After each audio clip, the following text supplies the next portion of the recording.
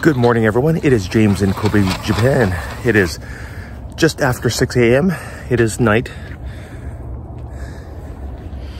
And uh, it is November 29th, 2023. I'm near the Takarakuji Monument, which is just over there. I'll say a quick prayer for my paying members and I. And regarding yesterday's mini lotto prediction, that was awesome. That was a jackpot prediction. My prediction captured all five of the main numbers. So if you selected the, the right numbers, then congratulations. I didn't win the jackpot, but I did win some money. So I'll try again producing a great prediction for this Thursday's Lotto 6.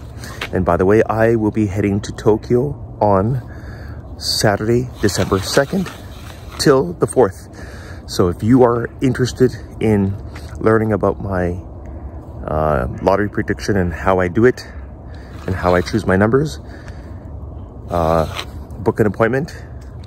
A session will cost 5,000 yen for one hour, maximum 90 minutes. Bring a laptop if you want. You'll need to take notes. Uh, so far I'm meeting two people so you're gonna have to let me know early. You have until Friday to really let me know. The only time that I have right now is December 3rd, somewhere in downtown Tokyo. Okay, anyway, here is the lottery monument. Let me say a quick prayer. Wait, puppy, wait, puppy, wait, wait. Please, lottery god, please, Lucky Takarakuji, help my paying members and I win the jackpot for Lotto 6 and Lotto 7.